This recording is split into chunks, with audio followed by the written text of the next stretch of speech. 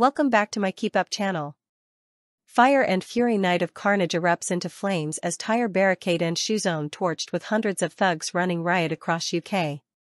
Battles broke out across at least nine cities as angry mobs ran riot six days after three girls were killed in a Southport stabbing initially rumored to have been carried out by a migrant. Huge groups of rioters descended on Liverpool, Manchester, Sunderland, Portsmouth, Hull, Blackpool, Bristol, Belfast, Stoke, Nottingham and Leeds on Saturday. Thousands of cops, many with riot helmets and shields, were deployed after groups organized Enough is Enough demonstrations in 22 major towns and cities. Chilling images showed these planned attacks ending in carnage with skips and bins set ablaze. Looters were pictured grabbing wine bottles, shoes, and phones from the shelves of high street shops after brazen yobs smashed windows and started fires. Shocking footage appeared to show Spellow Hub, a Merseyside library which reopened last year, set ablaze in the chaotic scenes. A number of fires continued to burn as rampaging thugs unleashed a torrent of fireworks through the streets of Liverpool. In clips of chaotic scenes, police helicopters can be heard circling overhead. Harrowing footage shows people with their hoods up and faces covered running through the ravaged streets. The first riots were this week sparked by speculation about the Southport attacker's identity, as rumors swelled online he was a migrant. Cops stressed the suspect was born in Cardiff before a judge ruled to reveal the 17-year-old's identity in an effort to quell unrest. Axel Muganwa Rudakubana was named on Wednesday as the teen charged over the knife attack in the Merseyside town, as the judge lifted reporting restrictions just days before his 18th birthday. Under 18s have an automatic right to anonymity in UK courts. Bebe King, 6, Elsie Dot Stancombe, 7, and 9-year-old Alice da Silva Aguiar were knifed to death in the mass stabbing. Elsie's mum this week condemned the riots and urged protesters to stop. After violence first erupted in Southport, she wrote, This is the only thing that I will write, but please stop the violence in Southport tonight. The police have been nothing but heroic these last 24 hours, and they, and we don't need this. On Saturday, massive brawls broke out between anti-immigration demonstrators and counter-protesters. Two police officers in Liverpool were taken to hospital, one with a suspected broken nose and another with a suspected broken jaw. Assistant Chief Constable Jenny Sims, who led Saturday's operation in Merseyside, said yesterday, the aggressive and abusive behavior of large groups today will never be tolerated and is being dealt with robustly. Those who engaged in this behavior bring nothing but shame to themselves and this city. Disturbing images of the clashes show rioters being handcuffed on the ground and multiple fires sending plumes of smoke into the air. One of the worst signs of violence came in Hull when a Shoezone store was set ablaze. Footage shows protesters reportedly looting pairs of Crocs after the charred store was left in ruins. Masked yobs were seen throwing bricks and bottles across the street as others set tires and a car park alight. Shops appear to have been ransacked by rampaging mobs elsewhere in the UK with thick black smoke seen above some of the country's major cities. In Manchester and Hull officers have been forced to fire tear gas into crowds as they battle with the hundreds of thugs. Terrified families who brought their children to see a Disney Princess cruise in Liverpool fled for their lives after a mob of 1,500 thugs clashed with police. Shops were locked down in the Merseyside city, with an Odeon cinema reportedly telling punters they couldn't leave the building. Merseyside police released a statement yesterday saying, We condemn in the strongest possible terms the violence and disorder that happened in Liverpool city centre today. Assistant Chief Constable Sims added, The behavior we have seen today in Liverpool city centre is completely unacceptable. What should have been a sunny Saturday on the historic waterfront to be enjoyed by people of all ages turned into an afternoon of unashamed disorder and violence, which potentially put decent members of the public, including children, at risk. A Section 60 order is now in place across the city until 8.40 p.m. on Sunday.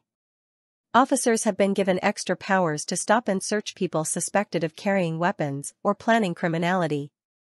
Mounted police were filmed charging protesters in Bristol after different groups clashed in chaotic scenes.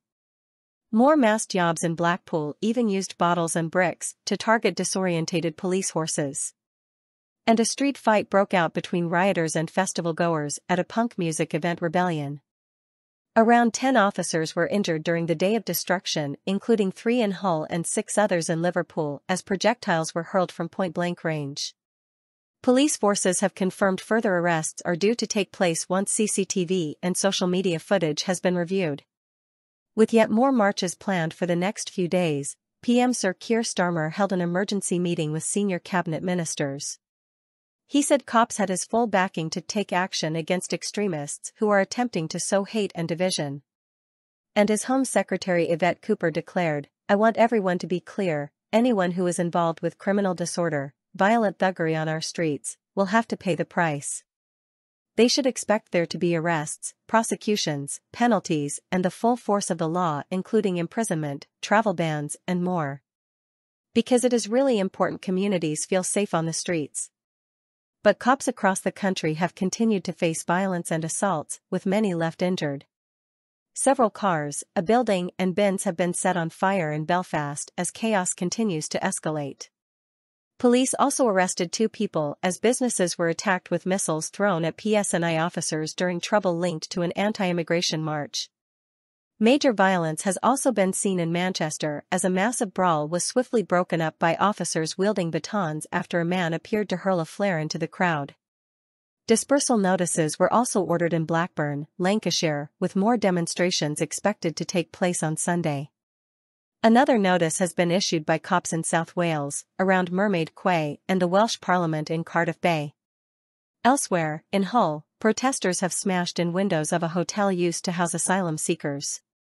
Bricks and glass bottles have been lobbed at the hotel while rioters shout. Another 150 people gathered in Piccadilly Gardens for a protest entitled Stand Up for Your Country, Enough is Enough just after midday on Saturday. A counter-protest, Stop the Far Right, was also held, attended by an estimated 350 people. In Leeds, 150 activists carrying St. George flags were outnumbered by counter-protesters shouting in defiance. This weekend's demonstrations come after a shocking night of violence in Sunderland on Friday. Cleveland police yesterday revealed two boys aged 11 and 14 were arrested on suspicion of violent disorder in Hartlepool earlier in the week. Why has violence broken out? The knife attack at a Taylor Swift-themed dance class on Monday, which left three girls dead sparked violent disorder in some cities and towns in England this week. Thousands of people turned out to pay their respects to the victims at a vigil in Southport on Tuesday evening. But violence later erupted outside a mosque in the town, with 53 police officers and three police dogs injured. Dozens of people have been arrested over the disorder in Southport.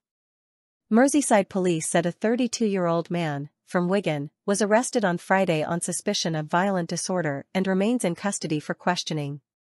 On Wednesday evening, more than 100 protesters were arrested on Whitehall, where bottles and cans were thrown at police.